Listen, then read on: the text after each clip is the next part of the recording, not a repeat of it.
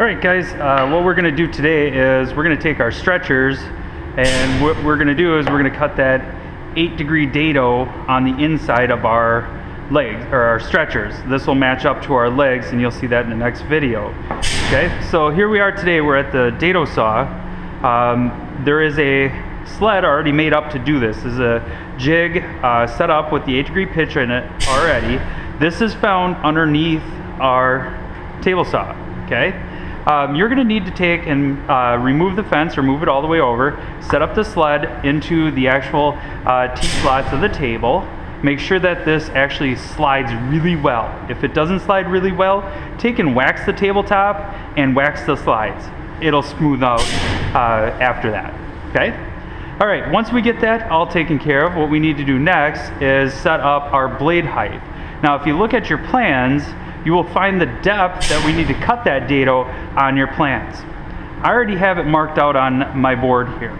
Once you get it marked out on yours, all you need to do is bring that down to our table saw here, next to the blade, elevate that up, and get it to the right height setting, okay? As you see here, I got the tooth of the blade touching the bottom of that line I'm gonna cut it at approximately the depth that it needs to be, and we'll check it for fit a little bit later, okay? All right, whenever you're doing any setup on this machine, um, make sure that you have all the safety features that you've been trained on uh, in place and that your instructor does need to check this over prior to you starting the machine. Also, your instructor should be standing next to you whenever you're cutting with this apparatus uh, to make sure that he or she can help you at any point in making your cut, okay? All right, next thing I want to do is actually take my stretcher and I'm going to look for the grain pattern in my wood and I want to make sure that, you know, I, I match up both sides.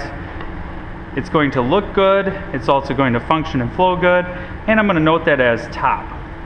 Now, this happens to be plywood that I'm working with, so for your actual hardwoods or softwoods, it's going to differ by the grain pattern of your lumber, okay? You also want to make sure that the cup of the grain, that the bark side is pointing in towards the legs of the frame. Obviously for my plywood here, um, it's going to be the uh, rough side or what would be the uh, scrap side would go down or inside of my project. Okay, so once I have the top marked, now I can actually proceed with the next step. Okay, notice on the sled, I have it marked out here, top, top. It's got to match. You have to set your tops on top of the top. that makes sense okay? I also have it noted out here as to how your dados will be cut, okay?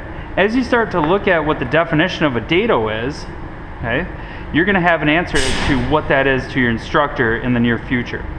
Next thing we need to do is take our stretcher, we're gonna slide it over and we're gonna bump it up against this other uh, stopper. This is gonna set our depth for the distance between the end of our board and the dado on both sides. Okay? That distance is going to be relative to where the leg placement is in the future assembly of this project. Okay? So I'm going to bump that over there. Next, I take my hands. We make a C with our hands. Fingers are going to go down. Thumbs are going to go right next to the T-slot. Your hand should not be inside of where the T-slot is on the actual table saw. So if you have um, T-slots on both sides, on your table saws, um, make sure that your hands are outside of that area. This is the no hand zone. Okay, so we have our fingers and our hands in the right place. Okay, I have my blade, I'm gonna check it again. Is it the right elevation? Yes, it is. Okay, I'm gonna slide this out of the way. I'm gonna make a dry cut all the way through. Okay, practice this, hands out. Shut our saw off, retrieve our sled, and do the next one. Okay, so here's how we do it uh, for real. So I'm gonna reach up, start my machine, let the blade come up to full speed.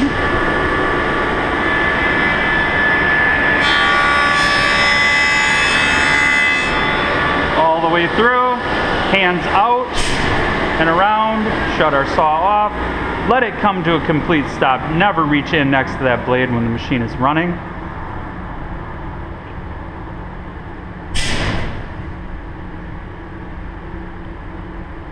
Okay, so once it's at a complete stop, I can slide this back and proceed to do the next cut.